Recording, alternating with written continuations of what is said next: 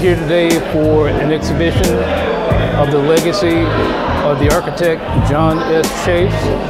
This is part of the exhibition where they talked about the legacy and the four gentlemen that you see uh, that, I'm chatting with are four panelists who were employees of the firm over a period of years. I started from 1967 when I started on through people may be leaving, I think, probably the last like maybe uh, five, six years ago.